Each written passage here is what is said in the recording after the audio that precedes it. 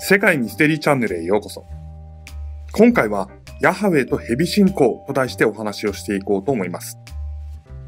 旧約聖書、新約聖書の唯一神であるヤハウェイ。これまで色々と動画で紹介しているので、その性質やエピソードにも色々なものがあるのはご存知かと思います。とは言っても、ヤハウェイは大体が人の姿で表されているというイメージを持っていると思いますが、実は蛇の姿のヤハウェイがいたと言ったらあなたは信じますか？というわけで今回はそんな唯一神のヤハウェイと蛇信仰について様々な角度から紹介していこうと思います。結構意外なお話だと思いますので、ぜひ最後までお楽しみください。それでは、どうぞ。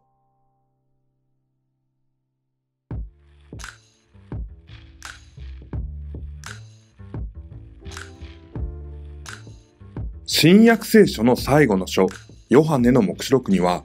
7つの頭と10本の角、そして7つの冠をかむる目視録の獣、赤い竜が登場します。この竜は、尾の一振りで天の星の3分の1を吐き払うほどの力を持ち、その後に現れる怪物と共にキリスト教徒を苦しめるという存在です。キリスト教を迫害したローマ帝国を表しているといったものや、キリスト教徒を弾圧した7人のローマ皇帝を表しているとも言われますよね。しかし、結局この赤い竜も手下の怪物も大天使ミカエルとの戦いに敗れ、キリストの再臨までの1000年間、地下に閉じ込められてしまいます。そしてこの1000年間はキリストが地上支配しますが、1000年経つと竜は解き放たれ、再び戦いの準備をします。しかし結局は火と硫黄の池に投げ込まれ、最終的にはキリストが勝利し、神の国が実現するといった流れとなるんです。この他にも聖書には、ヤハウェイによるレビアタン退治などがありますが、そのどちらもカナン人の神話において、バールが7頭の蛇、ロタンを倒す話が源流と言われています。このようにユダヤ教でもキリスト教でも、竜は神の敵であり、悪魔的な存在とされているわけですが、聖書には同じく蛇が登場しますよね。代表的なもので言えば、エデンの園でアダムとイブをそそのかし、善悪を知る木の実を食べさせた蛇は悪の象徴とされています。これを言い換えるなら、人間の現在はエデンの園の狡猾な蛇によってもたらされたということですよね。しかし、蛇の場合は竜と違って、必ずしも悪魔的な存在として描かれるだけではありませんでした。例えば、旧約聖書の民数記第22章には、モーセが聖堂の蛇を作り、それを竿の上にかけておいたとあります。ここからわかることは、モーセの時代にはユダヤ人の間に蛇信仰があったということですよね。モーセはエジプトに生まれ、そこから脱出し、カナンの地を目指しましたが、エジプトには蛇信仰というものがありました。それはウラエウスと言いますが、これは女神ウアジェトの象徴であり、ファラオの頭部についているものも有名です。もしかしたらモーセはこのエジプトの蛇信仰を持ち続けていたのかもしれません。その後、列王記下の18章によれば、ユダ王国の王ヒゼキヤの時代に、モーセの作った聖堂の蛇を打ち砕いたと記述があるため、ここで蛇信仰に対する弾圧があったと考えられますよね。しかし、この蛇信仰はこれで耐えてしまったわけではなく、紀元前2世紀にその証拠を見ることができます。ここではヤハウェイを蛇の神として、蛇の尾を持つヤハウェイの浮き彫りが作られていたんです。余談ですが、この姿はギリシャ神話に登場する怪物、エキドナにも似ていますよね。さて、この蛇の信仰ですが、初期キリスト教の一派にも引き継がれることになりました。それが正統派からは異端とみなされていたグノーシス派です。グノーシスとはギリシア語で知識または認識を意味する言葉。彼らは世界を悪に由来するものとして考えており、それをもとに独特の解釈を行っています。神による物質界の創造を不完全なものとし、そのために旧約聖書の創造心を排していきました。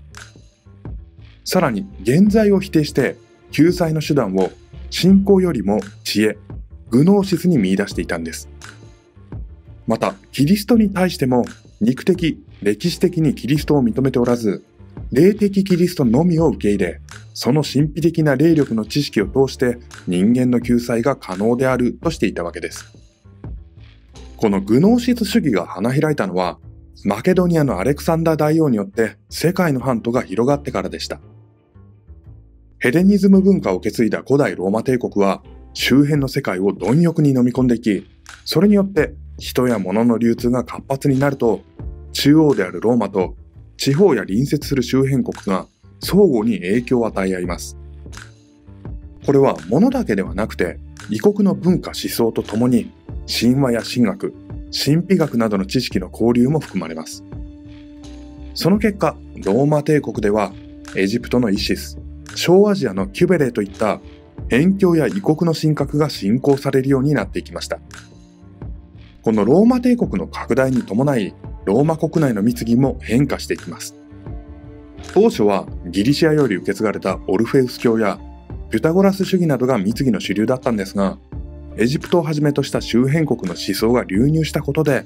旧来の貢ぎと融合し、新たな貢ぎ、秘密宗教が誕生していきました。その一つがグノーシス主義だったわけです。キリストの誕生から1世紀以内に誕生したとされるグノーシス主義という思想。そんなグノーシス派は大きく分けると2派が存在していました。それがシリア派というものとアレキサンドリア派というものです。この両派からはさらに多くの流派が分岐していったんですが、その中にハイジャ派、オフィス派というものが存在しています。彼らはヤハウェイを悪の神格とみなす一方で、エデンの園の蛇のことを狡猾な知恵があったゆえに評価しており、霊的なキリストと同一視していました。この一派のシンボルとされたのが、自らの尾を噛む円形の蛇、ウロボロスだったんです。まあ、こうした考えを持っていると、確かに異端だなと思うかもしれません。しかし、実際にヤハウェイ崇拝が起こるずっと以前には、パレスチナでは蛇が崇拝されていました。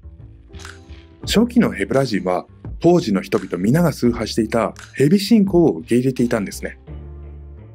聖堂の蛇を作ったモーセですが、彼はレビ族の子孫。イスラエル人が黄金の格子図を作って神に背いた時、レビ人だけはモーセのもとに集まって神への忠誠を誓ったため、祭司族になった氏族とされています。そのレビですが、名前にはレビアタンの息子という意味が隠されているという説もあります。ここから考えられることは、レビアタンは神の側面、異形の面として信仰の対象であったということ。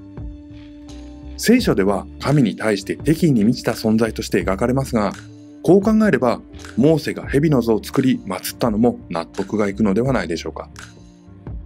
列王記下では、このモーセの聖堂の蛇はネホシタンと呼ばれています。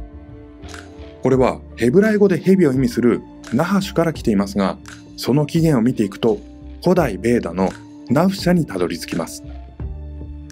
このナフシャというのは優れた君主で神々に壊れて天界の王となりますが、その後傲慢になったために天から落ち、1万年の間大蛇になってしまったという王。この語源から、そして民数記第21章8節から見ていくと、モーセが像を作った神と同じ神とみられ、火の蛇と表されています。これは先日の通り、ヒゼキヤ王によって壊されてしまいましたよね。この火の蛇のヘブライ語はセラフ。もともとは大地に豊穣をもたらす稲妻を指していたと言われ、それが後に四天使、セラフィムになったというわけです。つまり、四天使も元をたどれば蛇のせいであったように、ヤハウェイが蛇として表されていたのも当然のことと言えるんです。いかがでしたでしょうか？ヤハウェイと蛇信仰と題してお話をお送りしました。少々ややこしくなってしまいましたが、今回の話も要は様々な信仰を取り入れているといった話と見ることができます。これに関しては少し前に動画を作っているので、ぜひ概要欄のリンクよりご覧になってください。まあ、あとはまだ詳しく調べていませんが、聖堂の蛇と十字架にかけられたイエスも何かしらの関係がありそうですよね。こちらも何かわかれば動画にしますので、もしご存知の方がいたら、ぜひコメントにて教えてください。それでは今回はこの辺で。今回お送りした動画も何かのお役に立てていただければ幸いです。